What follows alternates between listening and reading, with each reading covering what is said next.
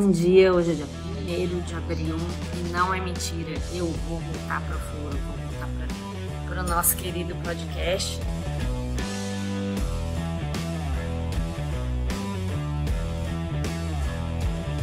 Tô em casa muitos dias, vou fazer minha mochilinha e tô saindo, são 8 horas, a gente vai gravar às 10. É a hora da gente fazer jornalismo, né? Então tá.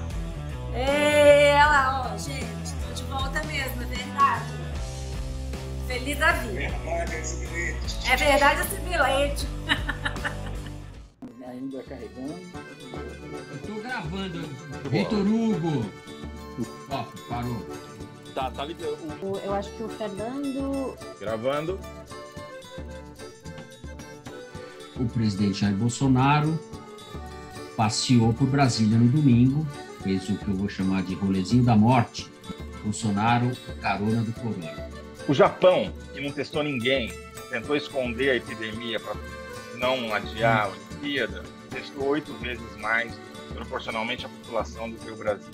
É importante a gente lembrar que o presidente Bolsonaro chegou a insinuar que o número de casos estaria sendo artificialmente inflado pelos estados, com intenções políticas, né? enquanto fica muito claro, a partir das notícias que chegam, é que, na verdade, o número de casos, o número de mortes estão muito provavelmente É. grosseiramente subestimados.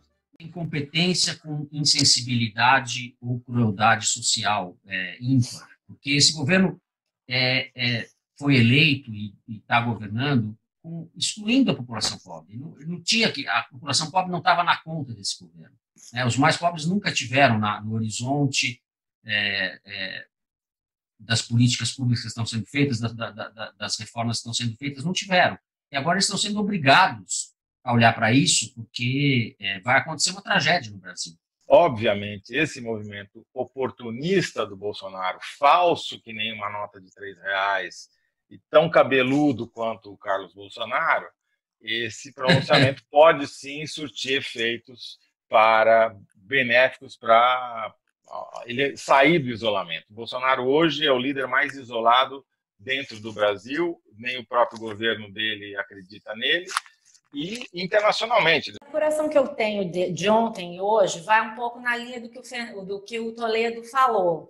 É, é Uhum. claro que essas postagens que ele está fazendo, e eu acredito tanto na- no recuo dele como vocês dois, acho que é um recuo momentâneo, é claro que essas postagens vão desafiar essa compreensão. né? E eu falei com um líder do Centrão e falei também com a senadora Cátia Abreu, agora de manhã, sobre é, o para entender o que, que eles estavam pensando sobre o pronunciamento. E ela foi muito clara a respeito do seguinte: o Bolsonaro estava arrumando para o alto golpe, como a gente já, vocês já vinham falando, estava indo acelerado com a cara no muro, e agora é, ele deu um recuo, conseguiu parar um pouco essa sensação de vamos ter que tomar uma providência com relação ao Bolsonaro. É, não custa Uhum. lembrar, Malu, esse, esse, a gente está enfrentando um inimigo invisível, né? muitas vezes menor do que uma bactéria. Então, assim, o teste é o nosso jeito de enxergar, é saber onde ele está, para onde ele está indo, em que velocidade.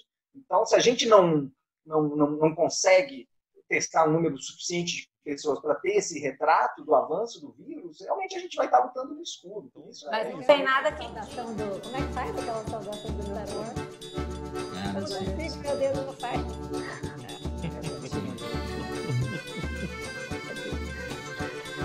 Beleza. Então Os é, nerds cara. do Foro de Teresina, isso aí.